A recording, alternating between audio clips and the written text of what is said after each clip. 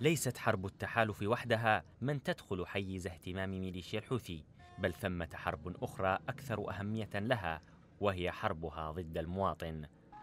بطرق متنوعة وأساليب جديدة تساهم الميليشيا في انهيار الوضع الاقتصادي وتفاقم الوضع الإنساني لملايين المواطنين بدءا بالتلاعب بالعملة وانتهاء بالتلاعب بأسعار المشتقات النفطية.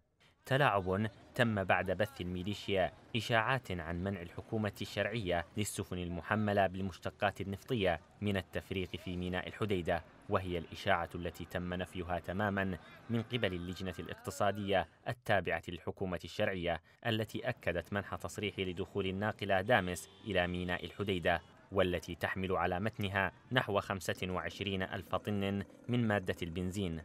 بيان اللجنة الاقتصادية أكد أن حصة الميناء من واردات المشتقات النفطية المصرح لها من الحكومة وصلت إلى حوالي 70% من الواردات المخصصة للموانئ اليمنية.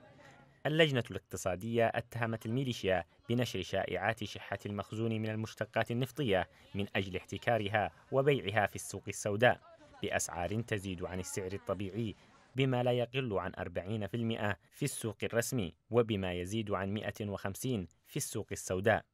اتهامات للجنة عقبها تحذير وجهته إلى لجنة المدفوعات الحوثية من المضاربة على العملة بأموال المشتقات النفطية.